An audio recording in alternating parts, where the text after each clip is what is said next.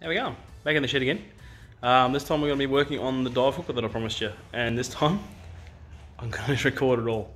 Alright, what we've got to start with is part of the dive compressor system that was originally on that frame until I pulled it apart. Got a nice Clisby compressor with a 5.5 horsepower Honda motor. Second hand, as you can see, there's all the bits and pieces that come off the old unit. Reason for doing this one is that the old aluminium unit is um, crusty to say the least. And the nice, if it'll focus, maybe, white powder. Not good to breathe in with aluminium oxide. So we are going to build with aid of a lot of parts, shiny stainless steel one.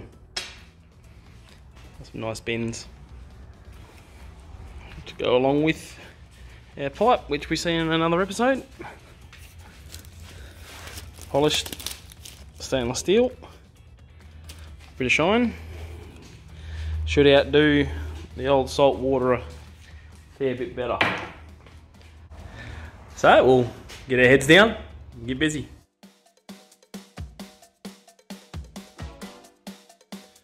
Well, that was quick and easy. Just, again, found me spots, give them a whack with a centre punch. Between these ones, I'll cut big long slots so that the uh, motor can tension the belt. A bit of movement, I think about 40 mil of movement on this one, which should be ample sufficiency we will go from there and see what we can do.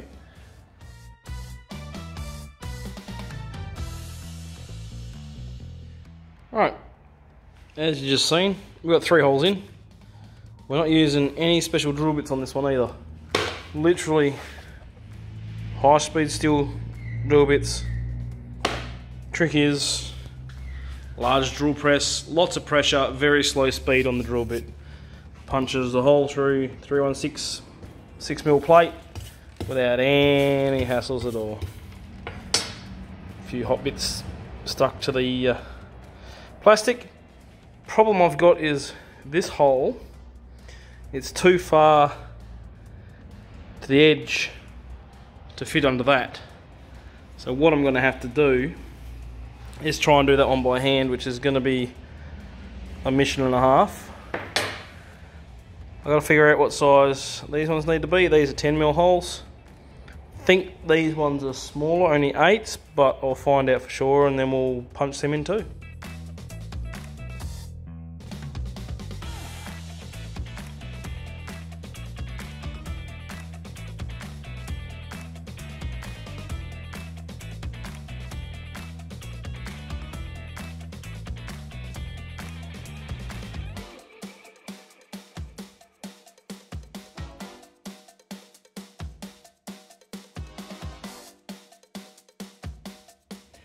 Alright, all the holes are drilled now.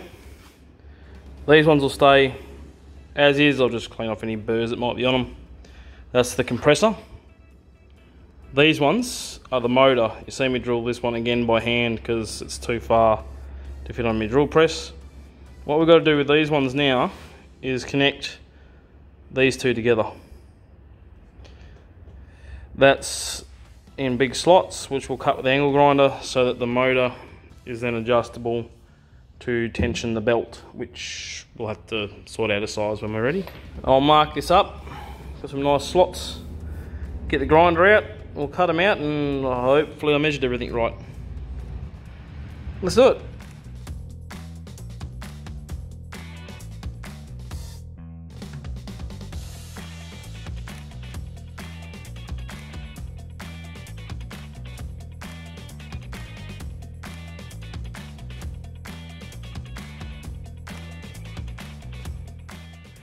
Righto, got them all cut out, all cleaned up, took the burrs off both sides.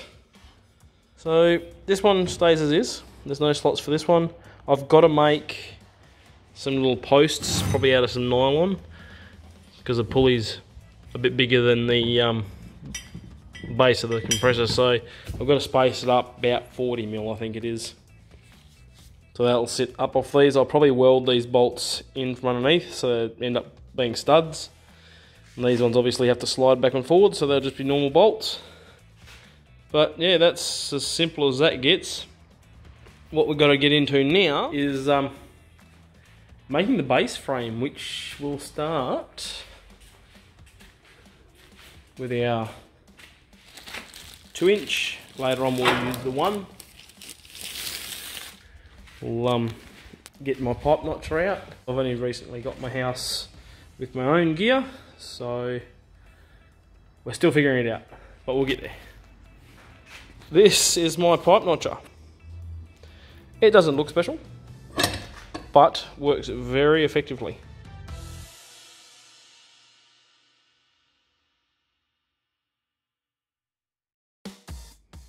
Alright, so we cope these all in. Did a bit of clean up work just off camera. See nice copes if it focus. Put a tack here on all four. Flip her over, do the same. Make sure she's square again and then just a few more tacks here and there until we can um, fully weld her out. Um, the other thing that has to go into the tank is a couple of bungs. Over here we need a half inch bung and probably on the end of this one we'll put a little quarter inch bung. So the tap's just there so we can drain the tank out.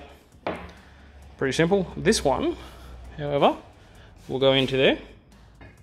What it is, if you can, if it'll focus down the side there, it's a valve down in there. You undo this cap, there's a spring and a little valve.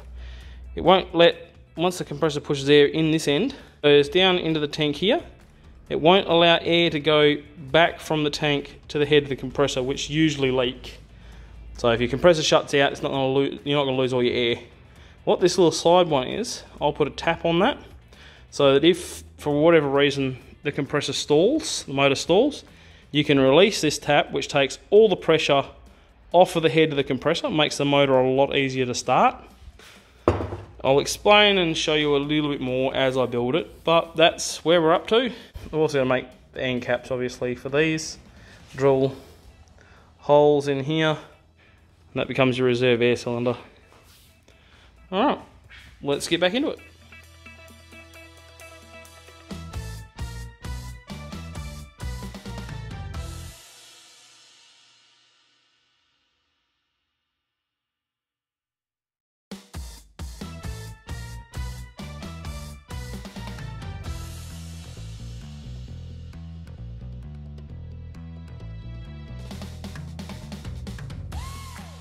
Alright, what you just seen me cut then was I cut these off the end of the big plate.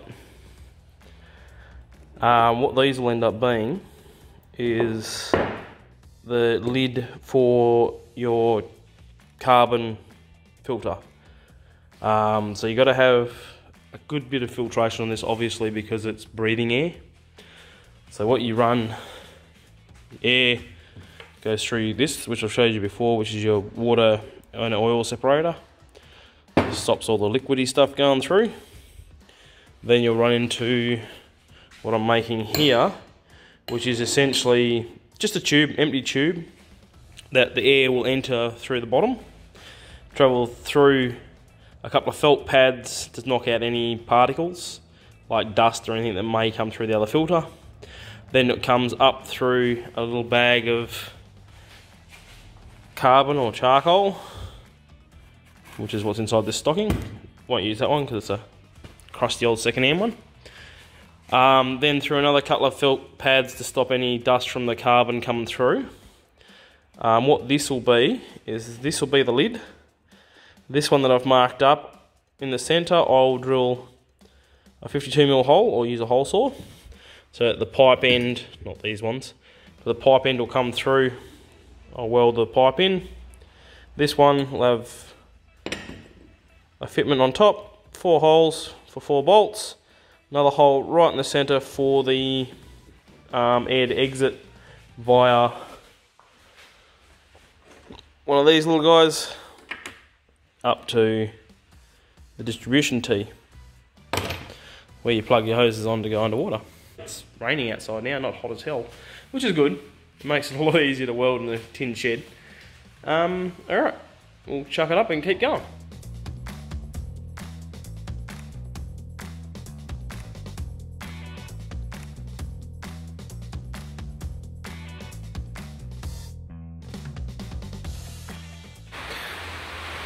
Alright, trying to ignore the noise, it's currently raining here, tin shed. Uh, what you just seen me do was cut these holes, which are for these guys. So when these go on, air can still pass through them both. I sort of skipped that one because I kind of want to tack both plates together so that when I drill the holes they exactly match. So I've sort of just skipped that for a minute. Going back to this, get this all ready to weld. I gotta get these burrs out from inside yet. Which I need to go get a file for because I don't have one. Useless I know. Again, it's still getting gear from the old man's place. Eventually we'll get there. But yeah, we got most of it ready now. Ready to go. Um, nearly ready to weld. I've got these caps to cut out yet. Uh, this bit of plate. Cut those out for the ends. I've still got to cut a piece of this one. Two pieces actually, because I've got to make the upright for the filters. Well, both filters. So there's the upright that welds on up for the um, water separator then there's also the tube that they're for. So I've still got a little bit do. We'll slowly get there. Um, I, as I said, I gotta get some files and things like that. So I'll um, see you when I get back here.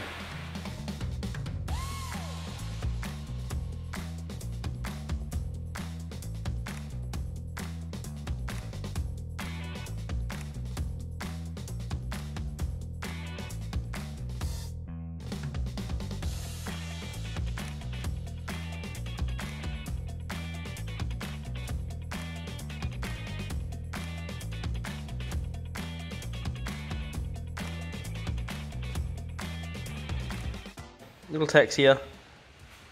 Just on the tops. Made sure it was square. Me playing around with tape measure a bit. Once I got the square, flipped it over, did the same weld again. Um, check square once more. Then a couple internal tacks if it'll focus down in here. Might be easier to see the external one. But just a few tacks here and there. It's pretty solid. I mean, it's only got, what, 16 tacks. But it's come up pretty solid.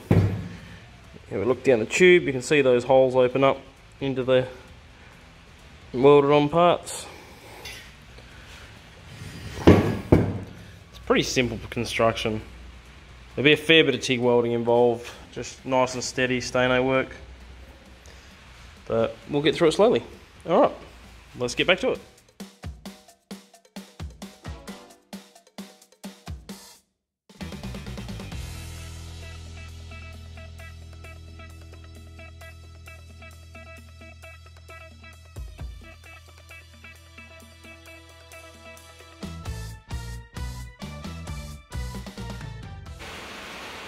Always happens right when you don't want it to.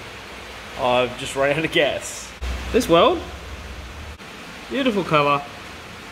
And when we go back to this side, see the grey, scaly shit? It's about at that point that it ran out of gas.